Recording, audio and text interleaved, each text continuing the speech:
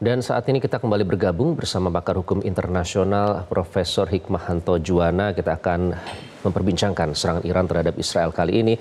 Prof. Hikmah, kita uh, kali ini berbicara soal dinamika yang terjadi di PBB, PBB yang terkini. Ini ada permintaan dari uh, Israel, dubes Israel untuk PBB meminta agar PBB apa istilahnya mengutuk Iran terhadap serangan yang dilakukan kepada Israel. Di sisi lain, Iran tetap bersikukuh bahwa ini alasannya untuk membela diri. Nah, nasib gencatan senjata nanti Anda akan memperkirakan seperti apa yang sebenarnya masih terus diupayakan. Apakah Israel nanti akan ada perubahan uh, apa ya uh, pandangan terkait soal gencatan senjata ini atau justru malah semakin keras bahwa tidak mungkin ada gencatan senjata terjadi?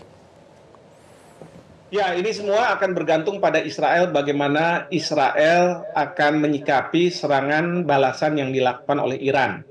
Kalau Israel uh, tidak melakukan serangan balasan kembali ke Iran, dan yang kedua Israel akan menghentikan serangan ke Gaza, maka saya yakin Iran akan bersedia untuk melakukan gencatan senjata. Dan kalau misalnya terjadi gencatan senjata, tentu melalui mekanisme yang ada di uh, Perserikatan Bangsa-Bangsa, khususnya di Dewan Keamanan PBB. Jadi ini yang uh, saya katakan bergantung pada bagaimana Israel menyikapi serangan balasan dari uh, Iran. Nah, tetapi kalau misalnya ternyata Israel tidak mau mendengarkan seruan dunia untuk uh, menghentikan uh, serangan balasan dari Iran, bahkan serangan ke Gaza, maka uh, bukannya tidak mungkin bahwa Iran akan terus melakukan serangan kepada Israel dan ini bisa uh, mengenai uh, warga sipil di Israel. Dan kemudian Iran akan mendapat dukungan dari banyak negara atas tindakan yang dilakukan ini. Dan dukungan dari banyak negara ini yang membuat Amerika Serikat tidak berkutik ketika dia harus membela Israel menghadapi serangan dari Iran. Karena sekarang ceritanya adalah is, uh, Amerika Serikat berhadapan dengan dunia. Karena hmm. dunia pun juga sudah tahu mengapa ketika serangan yang dilakukan Hamas ke Israel, lalu kemudian Israel bisa melakukan serangan balasan ke Hamas di Gaza, ya, uh, dengan katakanlah uh, melampaui batas kemanusiaan karena rakyat sipil juga terkena dampak. Tetapi ketika Iran melakukan serangan balasan, kok Amerika Serikat mas, bahkan justru mendukung apa yang dilakukan Israel ketika Israel nanti hmm. akan melakukan serangan balasan ke Iran lagi. Nah, ini hmm. yang dunia sudah tidak mau lagi percaya kepada Amerika Serikat meskipun Amerika Serikat ini dikatakan kampiun dari demokrasi, kampiun dari masalah perdamaian, ya kampiun dari masalah ini dan lain sebagainya, itu semakin hmm. tidak ada. Dan okay. saya yakin bahwa rakyat Amerika Serikat pun mereka akan mempertanyakan kepemimpinan dari Presiden Joe Biden dan mereka mungkin saja tidak mau lagi memilih Joe Biden sebagai okay. pemerintahnya karena dianggap sebagai tidak mampu Serikat ya. menangani ya. permasalahan Ada ini. Inilah yang dihadapi oleh Joe Biden dari pada IDF. sekarang ini. Uh, juru bicara dari tentara Israel, IDF, uh, Daniel Hagari menyatakan bahwa kami, uh, saya mengutip ya, ini kami akan terus bekerja bersama mitra kami untuk melawan serangan Iran ini. Nah, apakah mitra ini hanya Amerika Serikat di situ? Kalau Anda tadi menyatakan istilahnya tuh Amerika Serikat, uh, USA against the world begitu ya. Apakah yang dimaksud mitra oleh Israel ini adalah Amerika Serikat apa the one and only sementara dibandingkan pendukungnya Iran nanti akan uh, secara geopolitik akan mendapatkan lebih banyak yang mendukung Iran begitu. Saya yakin tidak, tidak hanya Amerika Serikat, tapi mereka juga uh, bergantung pada negara-negara di uh, Eropa, ya. Hmm. Tapi negara-negara uh, Eropa ini sekarang ada yang sudah melihat bahwa apa yang dilakukan oleh Israel ini sudah tidak patut lagi, ya. Tapi ada juga negara seperti Inggris yang mungkin masih berada di belakang uh, Israel. Ya, tapi seperti negara seperti Prancis, uh, mereka sudah mengatakan bahwa uh, apa yang dilakukan Israel ini sesuatu yang melanggar hukum internasional. Nah, ini bergantung dari lobby Yahudi. ya lobi-lobi Yahudi, orang-orang uh, warga negara setempat, keturunan yang mereka ini uh, mempunyai pengaruh secara ekonomi yang bisa menentukan apa yang akan uh, ditentukan oleh pemerintahan suatu negara.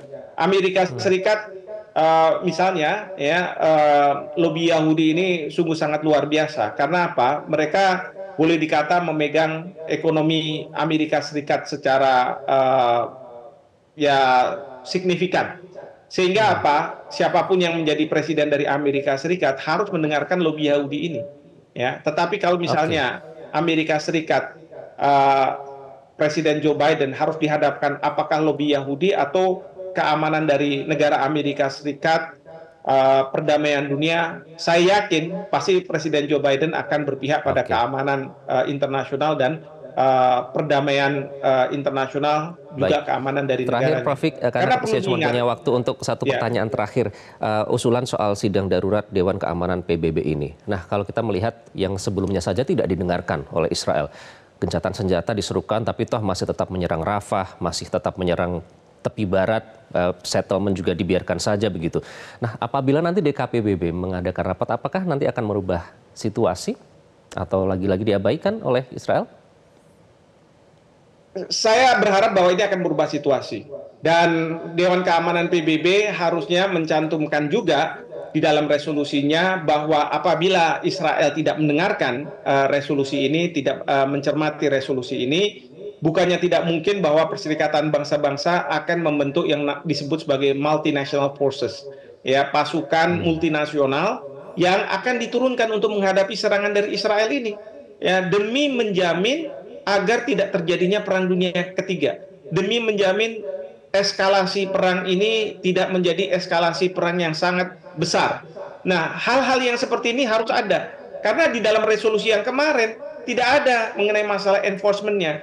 Kalau misalnya Israel seperti sekarang dia mengabaikan apa yang ada dalam resolusi, ya tidak akan ada artinya.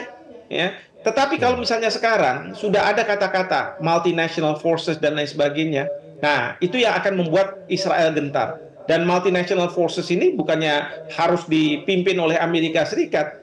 Saya berharap bahwa negara-negara seperti Rusia akan menyatakan diri bahwa saya akan memimpin multinational forces ini. Supaya apa? Saya tidak berharap bahwa ini akan terjadi ya uh, serangan yang dilakukan oleh multinational forces terhadap uh, Israel. Tetapi paling tidak ini yang akan membuat gentar dari Israel terutama okay. Perdana Menteri Netanyahu yang menjadi uh, biang kerok dari permasalahan ini karena Perdana Menteri Netanyahu ini uh, orang yang sangat uh, apa keras kepala untuk melakukan serangan walaupun oposisi sebagian masyarakat dari Israel menghendaki uh, agar Perdana Menteri Netanyahu ini bisa turun dari uh, kursi okay. Perdana Menterinya dan ini yang kita dorong juga kepada uh, Israel ya oposisi Israel rakyat Israel untuk mau menurunkan uh, presiden uh, maaf perdana menteri oh, Benjamin Netanyahu sehingga nanti ada kebijakan baru dari pemerintahan baru untuk menyelesaikan permasalahan ini.